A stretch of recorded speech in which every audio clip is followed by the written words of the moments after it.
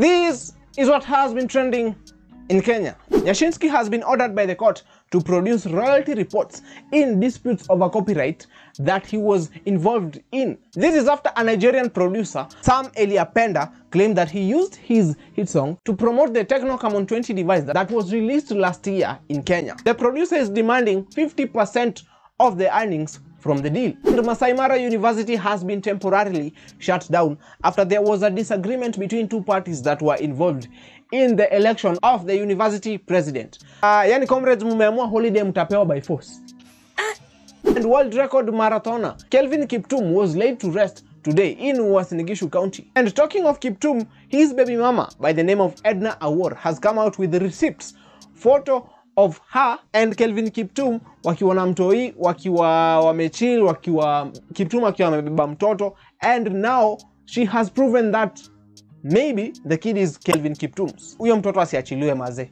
They need to support that kid ASAP man. And CS Kindiki respectfully appeals for Kenyans to bear with him as he resolves the passport issues that has been affecting a lot of Kenyans for a very long time. I really really hope hiyo hizi passport zitoke mapema cause wasi wengi wamekuwa wakinicomplainia and telling me that oh Eli King you should talk about it. Eli King you should talk about the passport. But now yes at least uh, there is hope in the end of the tunnel. Ama mnaona aje?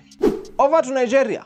Omale did this man so wrong. Imagine taking your girl to a concert, alafu anachukuliwa na msanii, alafu anaenda kufanya vituko huko juu na msanii and then kuharibia sana watu wanakurekod reaction yako ya face na wanakuchekelea hadi mabaunsazi wanakuchekelea buda. Utasikia aje mazi Ah, huyu jamaa mazi akufanya ofiti. Niko sure huyu jamaa saizi anaenda kukua Thanos.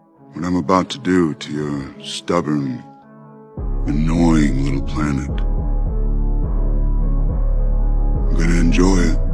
Steve Simple Boy is still shooting his shot on Betty Kialo. Is it Kialo or Chalo? Uh, whatever. Says that Betty Kialo is uh, critiquing him vibaya sana and that he, he prays that ata reply text zake so that amuoneshe you know mapenzi ya, ya, ya, ya ile vitu. But mimi niko na advice moja kwa Stevo. Stevo, rudia tu Pretty Vishi cause Betty Kialo vile atakufanya nakwambia utaacha usani. Atakupiga atu break moja utatii.